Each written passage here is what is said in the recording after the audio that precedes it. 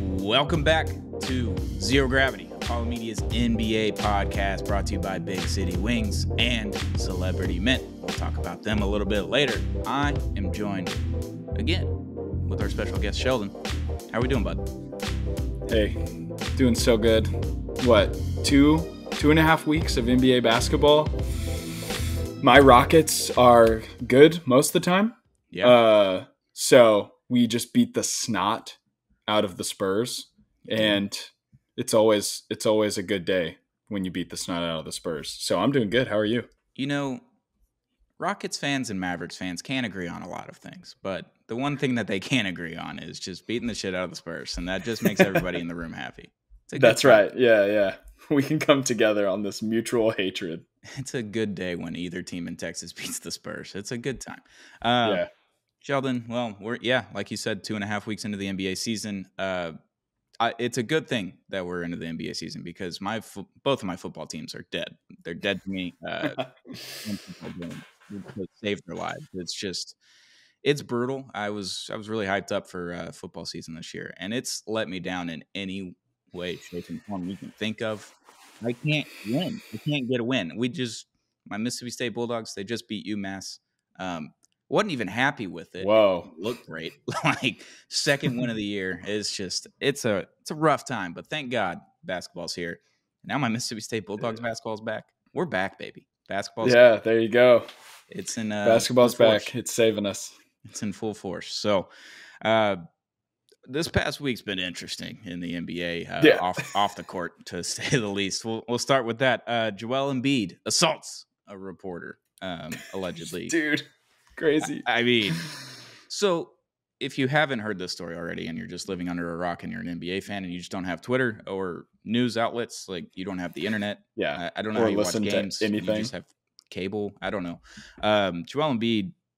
Uh, there was a story written about Joel Embiid, uh, just like basically talking about him not playing back to backs and the the load management and his knee issue that apparently is a real issue from this past offseason where he played in the Olympics and maybe he probably shouldn't have at this rate. like, um, not great. But the reporter basically talked about um, his son and also Joel Embiid's late brother who died Yeah. um, the year like right before he was drafted, I believe in 2014. So not good to just like bring that up out of randomness, talking about him not playing basketball because he he can't stay healthy. He's a seven foot one giant human being with like Yeah.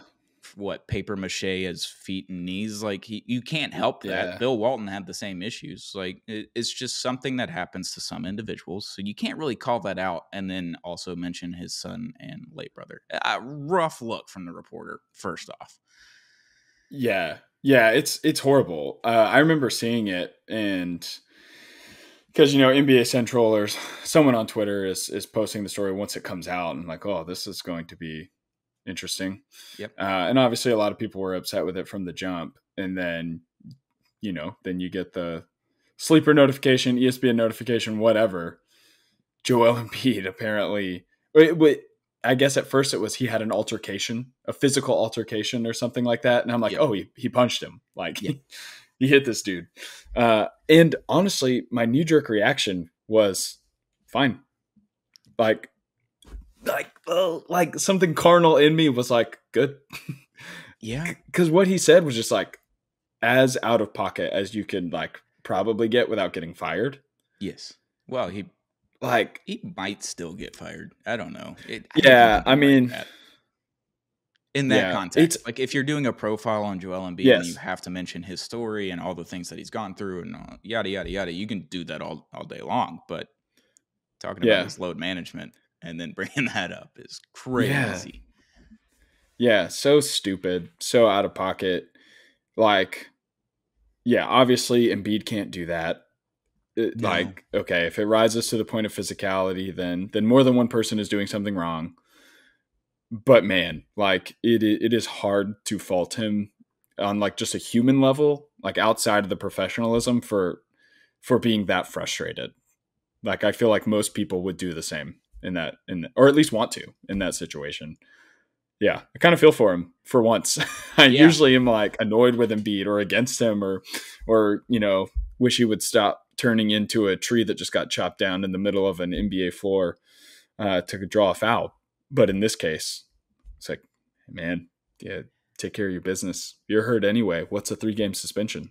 And another uh, caveat with athletes assaulting people, kind of not really. Jason Kelce over the weekend at Penn State, uh, someone was saying yeah. words to him about his brother and Taylor Swift, and um, he had enough and he took the phone and he slammed it down, uh, got shoved, and then yelled some words back at him. I found that very funny, um, but also very valid because these we're in the generation now that people are able to say things behind a screen, behind a phone, behind a laptop, whatever it may be, without fear of consequences. Like, sure, you get blocked, or maybe you get banned, like suspended from Twitter for 30 days, whatever it may be that's not re- really a repercussion. Like it's just like it is yeah, what it is. Um, that's right. Kels, now we're in the world of you can say things behind the screen, and then now they're saying it to you in person. Like Joel Embiid, he read, reads the story, but that reporter is in the locker room or in the tunnel or in the press room. Like he sees him on a relatively daily basis. Like you, yeah, you can't just write that and then face the guy like that. Yeah. That's preposterous. So Embiid assaulting him, uh, shoving him, punching him. It came out and it was like physical altercation, shoving, and then it turned into a punch. So I, I'm just waiting on the physical or the the video to come out if there is one. Yeah. I would love there for there to be a video just to see his long, gangly, seven foot arms uh, punching a small reporter. Like I, I just want to see how imagine? that looks.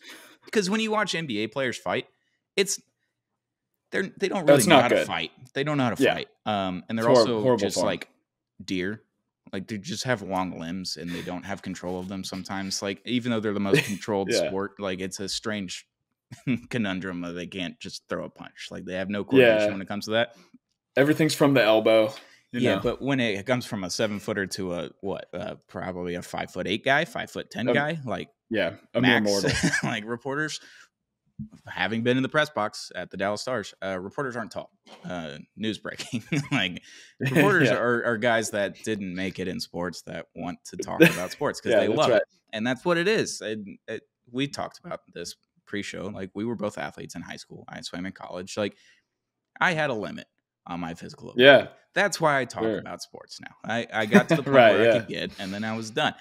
So Joel Embiid, a professional athlete, that's also a giant person uh, assaulting a, a, smaller man is very funny, and I just need to see the video. That's all it is. I just need to see it. I, I am like, I just can't imagine being that dude, and the, yeah, this seven foot monster is just coming at you, and I'm sure he sets up. You know, Joel Embiid's voice. He's kind of. It's like he's got this big kind of booming voice, but also kind of sounds like Kermit the Froggy every now and then. Yeah. Whatever. He's probably yelling something. You know, he's coming at you. You're just like, all right, yeah. this is it. What do you do? This is yeah. This is the end of my life. His fist is probably bigger than his head. Like I don't. I don't it's, it's preposterous. Oh I, yeah, for I sure. Just, I just want to see it. Uh, so yeah, that that's what a way to start the show talking about assaults and uh, just a strange fight. It's like David and Goliath, uh, except for yeah. Goliath won that one probably. So, um, yeah, in this, in this case, yeah. but before we go any further, let's give a shout out to our sponsors, Big City Wings, Houston's Wing Joint, Apollo's Wing Joint. Go check them out today if you're in the Houston area. They got great people, great beer, and great wings over at Big City Wings. They've got they just opened a new location. I think they're up to 14 locations now in the Houston area. So just look up Big City Wings. There's going to be one near you if you're in Houston. Um, and shout out to Celebrity Mint go check out celebritymint.com and see their new uh, graded collectibles of all kinds of people. They got Jamal Shead, Houston legend, Pete Rose, rest in peace. Uh, Mike Tyson, he's he's going to fight uh, one of the Paul brothers, Jake Paul, I guess, again, or tried to do that this time. I don't know, whatever. But shout out to our sponsors and uh, shout out to the election because Donald Trump had the, the president. Uh, he was the president a while ago, and then uh, lost the election, and then just won an election before Joel Embiid reached the Eastern Conference Finals. There we go. Tough look. Uh, very funny though. Yeah. Uh, the jokes just keep coming. I, I can't help oh, it. Yeah. Can't help yeah, it. you know, I've probably been sent three or four variations of that that same joke, and it's evergreen. It works every time. It will uh, continue to work. yeah, we uh, we didn't plan on talking about this, but th- talking about people, you know, saying something from a safe distance and not having to really face the repercussions. Did you see the Drake DeMar DeRozan thing? Oh yeah, we should talk about that. Uh, so DeMar DeRozan, if you're unfamiliar, was traded from the Raptors for Kawhi Leonard uh, years ago when they won a title. Yeah, not, not his fault. No, like not, it's not, not his choice fault. to be traded for a superstar. Um, DeMar yeah. DeRozan, fine player, incredible player. He, he scored what twenty five thousand points. Like he's scored a fuckload yeah. of points. He's going to be top thirty or so in scoring by the time he retires. Like great player. Kawhi Leonard was uh, all time two way player that for that year. Yeah. Like one of the best yeah. years of all time that anyone could have. like not his fault that he got traded. Um, now he's in Sacramento as a free agent. He, he signed there, traded there. He signed there. Um, mm-hmm. They they go back to Toronto. Drake's sitting courtside as per usual. Drake's having a rough year. Um, I don't know why you keep trying to put yourself in the limelight if you're Drake right now, but neither here nor there. Um, talking a lot of shit to Demar, um, and all I could think about was that uh, SNL skit with Will Ferrell or whatever skit that was for them in the in the in the gymnasium, and he's like Demar. Kind of kind of name is Demar. Like I don't know. I don't know. The more I, I say it, the more I hate it. Like it, it's. like that's what he was doing like years ago was when he was still on the Raptors, and it's an interesting dynamic for him to be what he's basically the minister of culture and for the Raptors, like Matthew McConaughey yeah. is for Texas. Like I, I don't yeah. know. Um, I don't know really what he does, but talking about and it was Vince Carter getting the banner up there, and then he's just all the banner talk, and then he called yeah. him a pussy at one point, like under his breath after the game was over, and I was like, dude, if you're gonna be like, about it, just fucking say it, just do it, dude, say like, it with your chest, like so so under his breath. Say it with your chest, like, dude. Like what? Hey, yeah. With the ear you're having, you might as well say it with your chest. Like what are we doing here? It's yeah. just ridiculously petty for no reason at all. When Demar yeah. wanted to stay in Toronto, like he wanted to be a Raptor for life. He said it. Like he's been about that life. He wanted to be in Toronto and he got traded. He can't help that. Well, you know, it's this is connected to the Kendrick and Drake beef, right? Mm. I forgot because from Compton, so yeah, that makes sense. That's right. Demar, famously Compton Compton guy. I'll never forget his first slam dunk contest. The dude that came out sick. with him, also famously from Compton. I don't remember who he was, but his yeah. suit was like snake skin. Yeah, it was like a whole thing. It was, a, a great show. dunk contest too. Yeah, fam- yeah. So he's famously from Compton. Was in the "Not Like Us" music video. Yeah. Once they made it, gets a shout out in the song, and so it's just like he's the NBA face. Of, and so Drake's got all this, you know. He he thinks he played for the team, and it's cute. You know, we we like the Jack Nicholson, or at least I do. I think it's fun, like when these yeah. celebrities like love their teams. They're always the, at the games. The Ben whatever. Stiller of the Knicks, like yeah, Spike Lee. Yeah, yeah, it, and and Drake you know, he's just doing too much a lot of the time usual. in this space. Not shocking. And yeah, it, and you know, he's one of the most prolific rappers of our generation. Some for some people, he's like a, an all-time great. Yeah. But dude, just doing too much in the NBA. Ah, brother. Doing too much. And then yeah. the, the Vince Carter uh, jersey retirement. We'll touch on this. Um, the meme that came out of that. The, also, all-time banner. All-time banner. I don't I don't know if I've actually seen it. I'm about to look it up. No, you got to look at this. It's it's uh it's awesome. It's really long. It's not like a normal kind of rectangle. It's mu- much more long, and um, it's got his number on it, the the vintage Raptors jersey number with the oh, background, and it's got him on it as well. Like they did a hell of a job with the banner. Banners need to start yeah. doing this because this is way cooler than just having the the number and the last name on it. Like yeah, that's tight. It's a it's a great banner. It's a little long for yeah. my liking, but Sure, but the the idea of it is cool. I'm imagining like Toyota Center just having an like Hakeem with the tro- embarrassing like the David Robinson just trophies on a banner. Either that, or you have the two finals trophies up there. Like he's posing yeah, probably better. Trophies. But yeah, Larry O'Brien. Like yeah, that'd be sick. Like let's just start doing yeah. that. Dirk with the the finals trophy, holding it up yeah. for the first time. Like that that'd be cool. I don't know. Great, great banner. Uh, shout out to Vince Carter, even though he quit on that team and he got a jersey retirement. That doesn't make sense to me. He quit. That is kind of weird. Like legit. Yeah. Like worse than James Harden quit on the Rockets. Like oh yeah, way worse. Like yeah. J- James Harden at least like he did his time. You know. Yeah. He he did a lot and everyone kind of the writing was on the wall. He was just kind of a baby about the way he forced his way out. but yeah, Vince, Vince quitting. I was listening to uh, what's Esper Haney, the guy at the Athletic, who's like a Raptors guy, talk about it. And apparently, there's been a lot of they've done a lot of repairing their relationship, and so that's that's great. But it still still feels kind of weird. But you know, good for really them. And do anything for him either. And like they weren't great.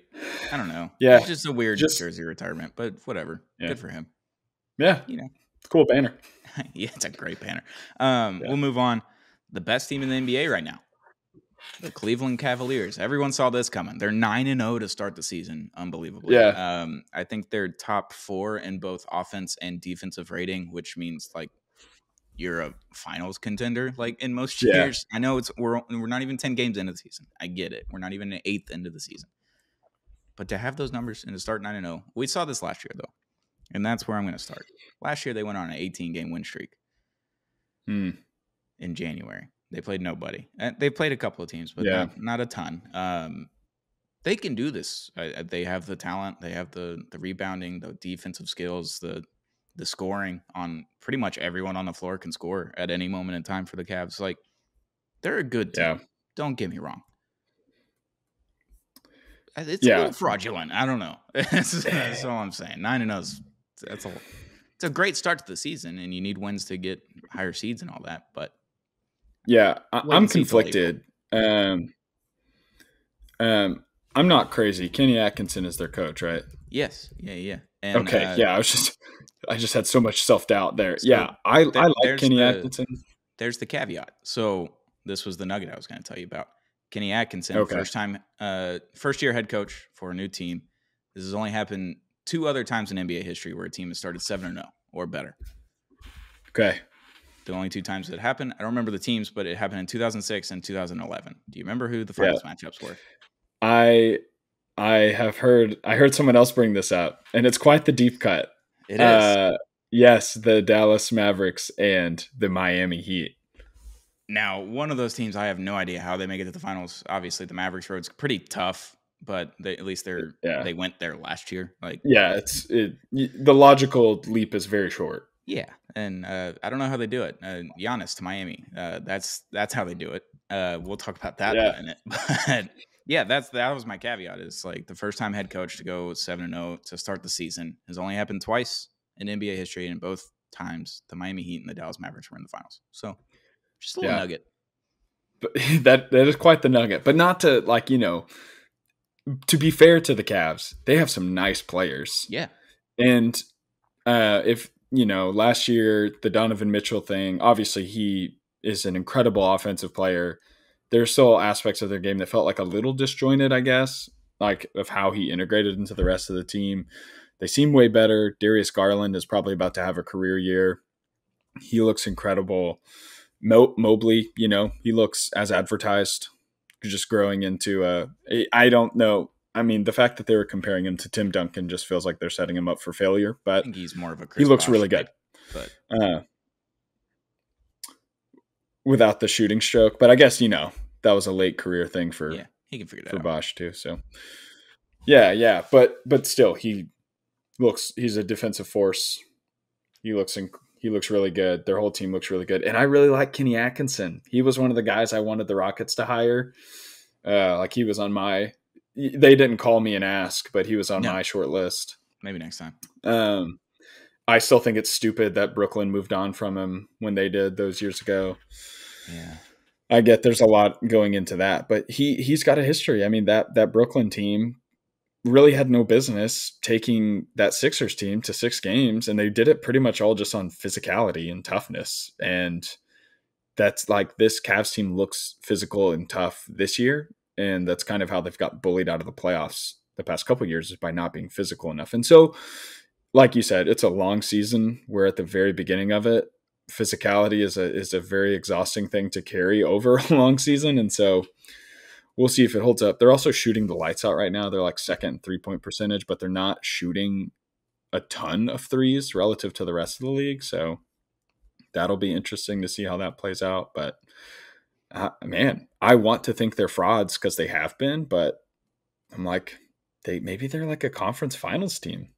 yeah, and by frauds I mean that I don't think they're going to make the finals. Um, which isn't Yeah. really fraudulent. Like it's in all, like Boston, if they don't make the finals, it's because everyone on their team got hurt. Like Yeah, or they just Yeah. ran into a buzzsaw. Like they just ran into a team that was hotter than everyone else and just couldn't miss from three and played incredible defense. Like a lot of factors have to go into that. But and maybe Cleveland does that. Maybe the Knicks do that. But the Knicks don't look good yet. They got a lot of chemistry issues right now. And the Magic just lost Paolo for how many ever weeks with an oblique injury. And oh, dude, the Yeah. East is like wide open outside of the top seed, which should be Boston. Yeah. But if Cleveland just wins 82 games, then they will be the number one seed. I don't, I don't know. They may. never That's right, again. yeah. it's possible. I saw uh, a Rockets guy was like, "Hey, I don't want to speak too soon. The Rockets are on pace for 51 games," and someone like quote tweeted it and was like, "Who cares? The Cavs are on pace for 82 or something like that." I was like, "Ah, that's good. That's good." That's fair. Yeah. Um, Yeah. so yeah. Cleveland's off to an incredible start to the season. Nine and zero. Uh, haven't seen that. I don't know if I've ever seen that. A nine and zero start to the season. I really don't. But great start to the season. Uh, on the downside, we'll go to San Antonio. Uh, Coach Pop, Mm. Gregg Popovich having some health issues right now, uh, stepping away from the team to go deal with that. That they haven't said what it is. They haven't given a timetable. We just don't know. So it's just kind of prayers up for Coach Pop and hope he gets back on the court and gets to do what he loves. And Yeah. I don't know. It's just everyone said it's been five years too long. Like he's just been sitting there and like, but he's doing what he loves to do. He's working. He's an older guy. Like usually when people stop working, like a strange uh, connection here, but Joe Paterno, like old as shit. Uh, all the stuff goes down at Penn State. He retires, then he dies like within months. Like Yeah. you stop working, you your body stops working for the most part. Yeah. is what I've learned. So, um, yeah, just hope Coach Pop gets uh, healthy and gets to come back on the sideline.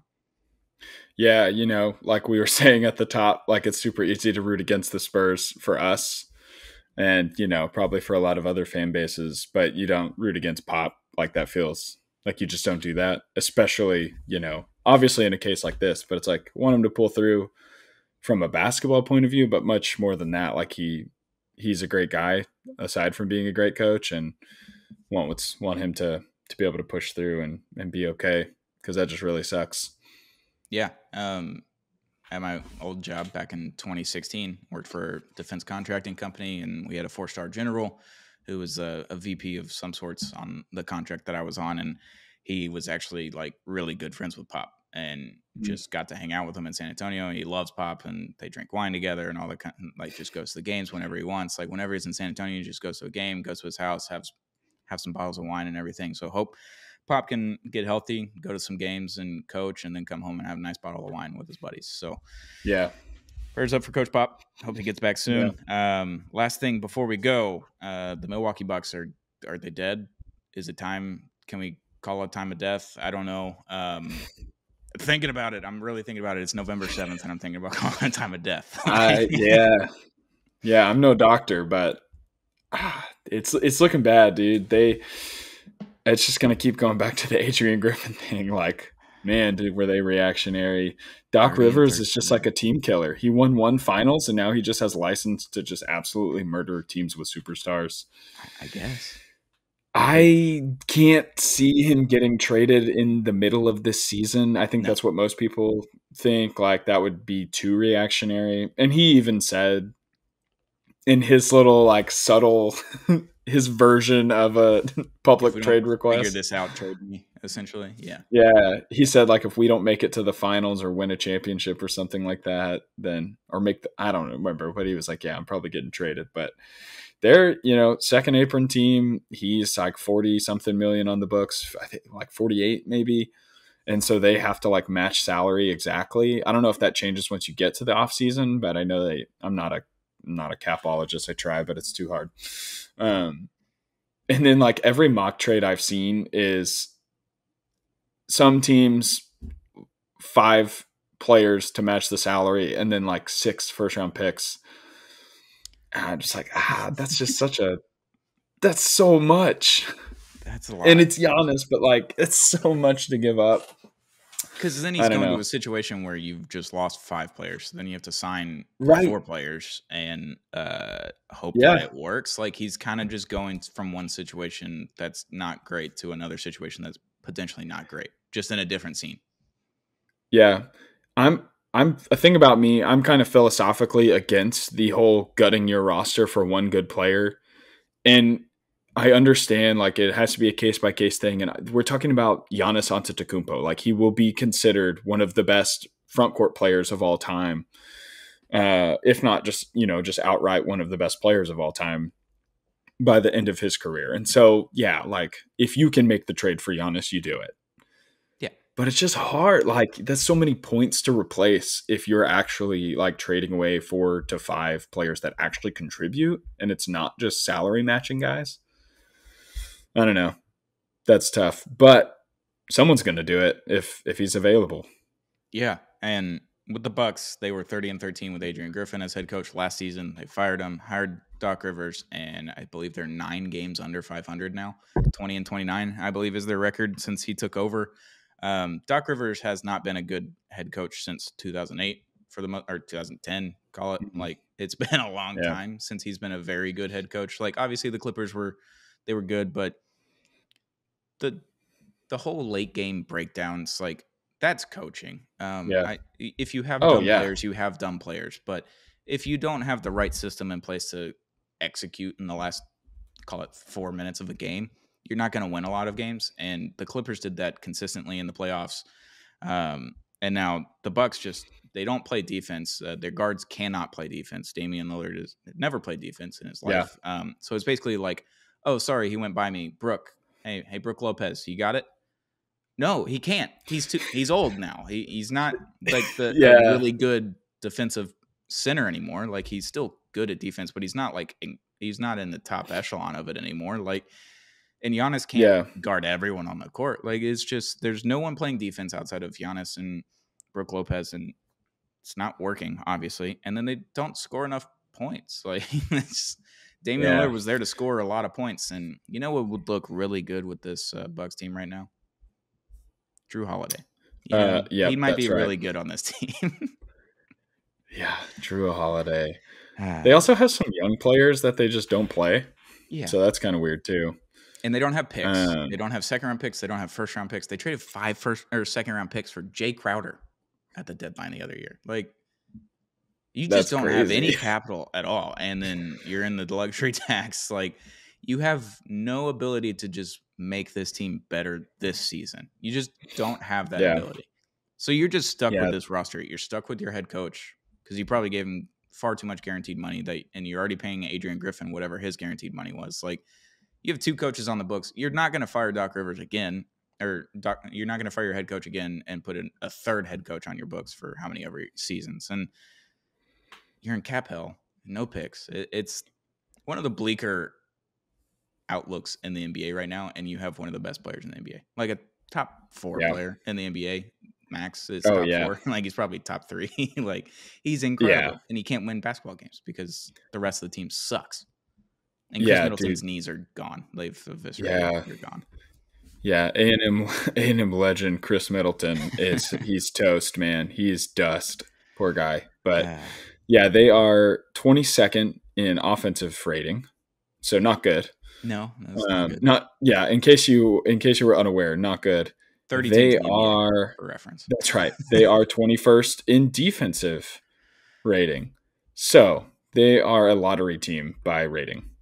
Yeah, and they don't have their pick this year, so doesn't matter. 24th, 24th in net rating, negative 6.3. I did not think I would be saying that about a Giannis Antetokounmpo team.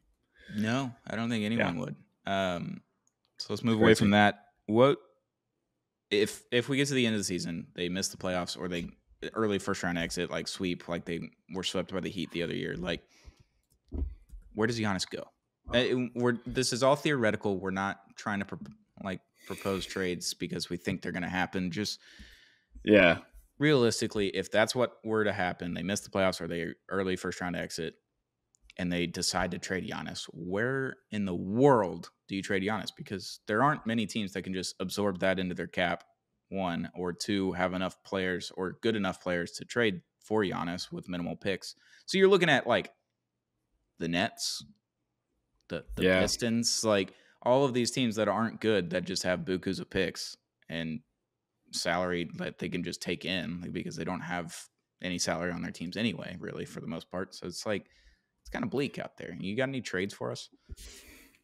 Um, well, I was just looking. Uh, I was looking at the Heat because I feel like that's the most obvious team to be aggressive to try and Yep. go get him of like your your top teams, and him and Jimmy are making the same amount of money. I can't figure out why this trade machine won't let it go through. But how funny would it be if the Heat are just like, "All right, Jimmy, we kind of love you, but we're tired of you, and you're old. Uh, we're just going to swap you straight up for Giannis and some picks." Whatever picks they Uh. Yeah. Yeah, which is let's see, they've got uh their first rounder next year. Yeah, first rounder ne- exactly. Yeah, first rounder next year and then 28, 29. There so really after Okay. after 27 they've got everything that, you know, you could pull up on a trade machine. So Okay. but yeah, that that's a potential. Of course, everyone is throwing the Houston Rockets in there because we've just got too many guys, they say. Which, you know, might be true. We just sent uh Cam Whitmore down to the G League. Oh, I didn't know Um, so Wow.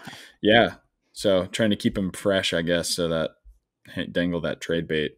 But if they're gonna trade for Giannis, then they have to group at least one. They have to pick up Fred VanVleet's team option and include him in the trade, which I don't think they're going to do. They like the stability he brings. Or they have to do Brooks, which I think is more likely, but he would Yeah. still have two years. And they've touted him as like this culture guy, so that might really be weird for the locker room. Obviously, it's worth it if you are trading Dillon Brooks for Giannis Antetokounmpo, but but then it starts to get tricky because as a sentimental Rockets fan, I start looking at these names and I'm like, I don't want. The only name I'd want to give up is Jabari. Yeah, but- you throw Jabari and Brooks and then like three picks. Yeah, so well, that doesn't get you up to the salary. That's the crazy thing. Oh, Giannis so is on the books for. So forty-eight point seven. So, but here's the thing too. I think, and again, I can really only speak to this links on the Rockets because they're the team I watch the most. Whatever. I think the more you know, if we get to the end of the season and things keep going how they are, every team the Rockets try to trade with is going to say we want one of Tari Eason or Amen Thompson, and we won't take no for an answer. And if you're the Rockets, Sengun? Could you throw Sengun Ah, in see, there? Because like, if I'm getting Giannis, I think so. yeah, Oh, but it kind of hurts to say. yeah, It stings, but I think so. I I think you throw Sengun in there, picks, and then whatever salary to, and like maybe one other player. So I think you can make it work. You can get really close with Jock Landale, Sengun, Brooks, and then Jabari. Yeah. And then you might have to throw in like one more minimum guy just to get it like precise because their second apron they have to take back like exactly You have Jeff Green they have. again. We have Jeff Green again, so There they can go. throw in someone like that. Um, He'd look great in a uniform. uh, hey, man, I love me. I love me some Uncle Jeff. I, mean, I don't know if he's ever played for the Bucks, but that's good for anyone still playing Immaculate Grid too. yeah, it'd be great. Um, and and the the Rockets also have Phoenix's future picks, Mhm. Which will be good. Trade in the once- offseason, right? yeah, yeah. So that that'll be good once uh, KD retires too. It's fair. Um, and Yeah, well, that depends. That all depends on a lot. But so the Rockets could be real. The Nets, I just struggle to think that the next the Nets would. That well, I don't know why he would want to go to the no, Nets. he wouldn't. He wouldn't approve that one. I, I have one Yeah. other team, Okay, let's hear it. Golden State. Yeah. So They kill off Draymond, um, whatever picks they have, and whatever other salary they get, and then you get Curry and Giannis for two, three years. gosh, that'd be insane. That'd be frightening. Um, I don't know what else you put around it. Like you got to throw probably like Kuminga in the trade and give him a contract, like Oh, pff, oh sign no. and trade kind of thing. Like Yeah, you know, because he'll him a be contract right now, but it they would do a sign and trade with him. It'd be easy, but he'd be their like young player, and then you you get rid of the, the toxicity of Draymond Green um, and his podcast. You get rid of that, send him up to Milwaukee. Um, it's closer to Michigan, so he's like kind of back at home. It's like the same thing. They're the same state. It's they're just I don't like either. Yeah. It's cold up there. Sure. He'll be fine. Um, it would piss it would piss Draymond off a lot. But Clay's already gone, so like the core is only two guys now, really. So you could you could do that for Giannis. You would do that for Giannis. Oh yeah, I would trade Draymond Green for Giannis. like Yeah, even so that the salary, yeah, the salary gets tricky. Um, well, the thing is, like Steph retires eventually, and then you've got Giannis, and everyone who's gonna say no to coming in in free agency and playing Right. with Giannis. So they're paying Andrew Wiggins twenty six this year Wiggins. There it is. because he's on that uh, that extension they signed that looked terrible last year. Looks pretty good this year. Let's see. Yeah, and it goes up. It only goes up after this year. So that might that might help, but I imagine you want to keep some wing defenders and not make Giannis defend everyone. Yeah, But- but, if you get Giannis, then you know you figure that out afterwards. you just see what happens. Right. Yeah. yeah, you can get some more wings. And they've got a lot of picks too. They would lose all their picks trying Right. to trade for him, but you would. Man, I love Yeah. just talking theoretical superstar trades two weeks into the season. This is the best. I didn't think we were going to have this until maybe February or January Yeah. or something like that. Someone was going to be upset, but Giannis made that very clear pretty much like two games into the season. So, um, yeah, it's trade talk November 7th. Gotta love it. um, that's NBA.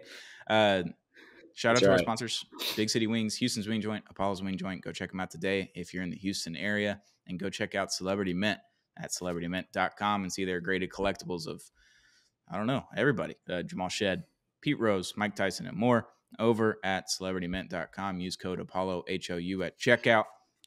Sheldon, thanks for joining me. We'll be back soon. Um, be back next week at some point. I think Josh Garcia will be back um, from his counting votes over at the election polls, uh, and that's his job. God bless So, him.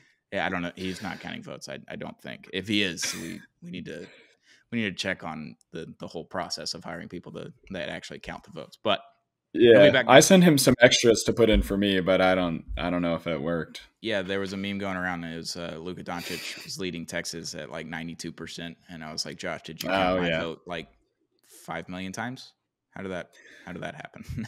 Yeah, I saw those and I was like, okay, the people making these are unaware that there are three teams who hate each other in this state. But yeah, No, it, it worked out for me though. Um, so Josh counted my vote about five million times over in the DFW area, but you know, he'll be back. Sheldon, he'll be back. yeah, Um, this has been Zero Gravity, Apollo Media's NBA podcast. We'll be back soon. Uh, shout out to our sponsor. Shout out to you, Sheldon, and shout out to you for watching this episode or listening to it. It'll be up on Apple and Spotify. I'm gonna do it. I promise. right on. we'll be looking for it. Peace out, man. It was fun. See y'all next week.